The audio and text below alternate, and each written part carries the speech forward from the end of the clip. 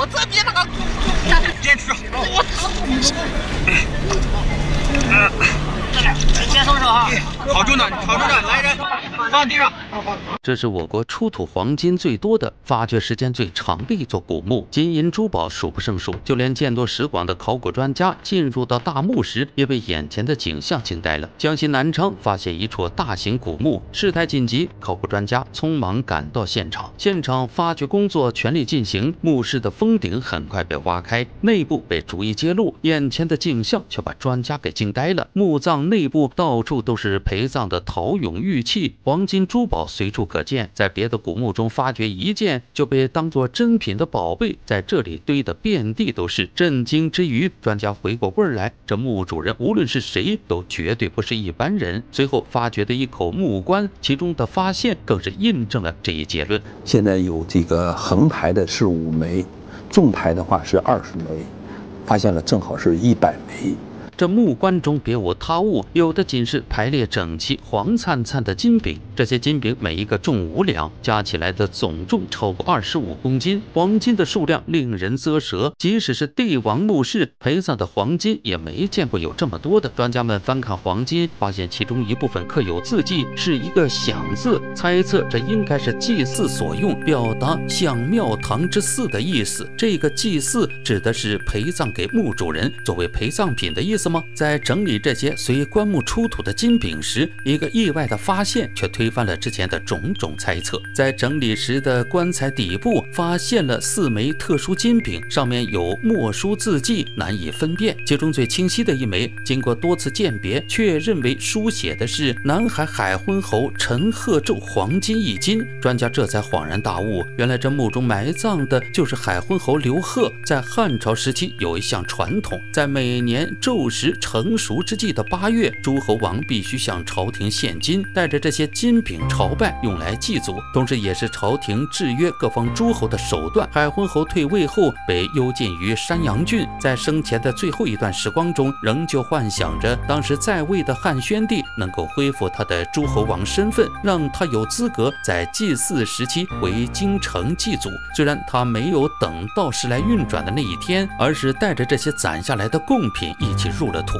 专家猜测这应该就是墓室中值钱的东西，却不料发现墓主人棺椁之后，挖开一看，暗叫自己的见识还是少了。有一个 浴缸塞，这块玉呢，应该是还雕琢的。不是说素面的，还雕琢着其他的纹饰。在对海昏侯墓发掘的过程中，专家们惊讶地发现，墓主人的这枚玉钢塞竟然是二手的。这座墓葬的主人意欲为何呢？随着挖掘工作的深入，工作人员很快在墓室中找到了一口巨大的棺椁，猜测就是墓主人的存放处。将其小心抬出，用木板夹层封装后，为了防止文物被破坏，还特意搬到了化验室室。轻轻打开木盖，专家们便被眼前的。景象惊呆了。只见墓主人尸首上从上到下铺满了黑不溜秋的圆盘，每一个大小形状都实属罕见。尤其是位于右胸处的一枚，大小二十八公分，厚度一厘米。专家不敢怠慢，小心取出，拼接完整。发现这形状总不能是光盘吧？很快从边缘的光泽判断是品质上佳的青玉。打扫完成之后，漂亮。也就是说，这位墓主人陪葬奢侈至极，从头到脚。都用玉器覆盖。短暂震惊过后，专家也给出了自己的推断。原来在古时，将玉器放置在棺材陪葬有两层含义：一是玉器被古人认为有防腐的功效；二是玉器被赋予一层神秘色彩，被认为能留住主人的魂魄，保持魂形不散的功效。而这些玉器的摆放也有说法：人体的各个器官通口加起来共称九窍，也就是九块玉玉器阻断九窍。这话说完，旁边的研究员面红耳赤，毕竟九窍除去两耳、两眼、双鼻，还有嘴，剩下的两窍呢？专家嘿嘿一笑，答案不言而喻。揭开尸体下方，一件形状奇怪的玉剑呈现在众人眼前。这枚玉不同寻常，是用了一块其他形状的玉给替代了。而且令人忍俊不禁的是，这枚玉剑并非是首次使用，的纹路上的痕迹显示，并非汉代的文物，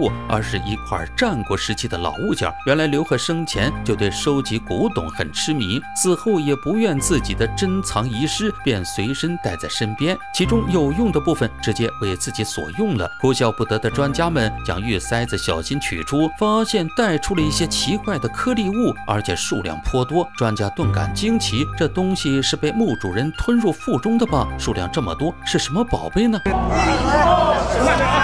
看着啊。一这是一场长达七年的考古发掘，墓中黄金无数，各种玉器层出不穷。大墓之中，一枚小小的印章引起了大家的骚动。印章在古代是身份的象征，也是如今专家判断墓主人身份最直接、最可信的东西。在墓中挖掘出大量的黄金珠宝后，发掘工作进一步展开。在整理棺椁中墓主人尸首时，一个异样的发现也引起了专家们的注意：玉器下的凹槽中带出不少黑色的颗粒状。的物体，这又是什么古物呢？清理周边，发现了更多这样的东西，好奇摆弄不得其解。叫来老资历的专家过后，老师傅见了哈哈一笑：“这上面粘的是吞下去的瓜子吧？”学员这才回过味儿来，这肚子里的瓜子不就是没消化的粪便吗？我还以为是黑珍珠呢。为了做对比，拿出一颗香瓜，切开之后放在一块，果真形状和颜色都如出一辙。检查棺材中其他部位之后，发现现不止在肛门、腹部也有数量很多的香瓜子，研究人员不禁疑惑：这海昏侯人之将死，吃了这么多香瓜，令人匪夷所思，莫非是噎死的不成？挖开墓穴，搬出墓主人棺椁之后，在其身体中发现了数量众多的香瓜子，让人不禁疑惑：这海昏侯是有多喜欢吃香瓜呀？考古专家们笑中带乐，继续检查墓主人尸首，脸上的笑意却逐渐消失，还逐渐冒出了一身冷汗。只见。从尸首胃部往上检查，其大肠、小肠乃至食道中均装满了类似的黑色香瓜子，这也就表明这些香瓜子刚被吞下食道中时，海昏侯就已经死了。很短的时间吃下这么多香瓜，看起来不单单是死前的享受那么简单，还有可能是一种刑罚。旁边老资历的专家神色凝重，提醒道：“去取一些香瓜子，查查有没有问题。如果有毒。”可能又涉及到一个惊天的大秘密。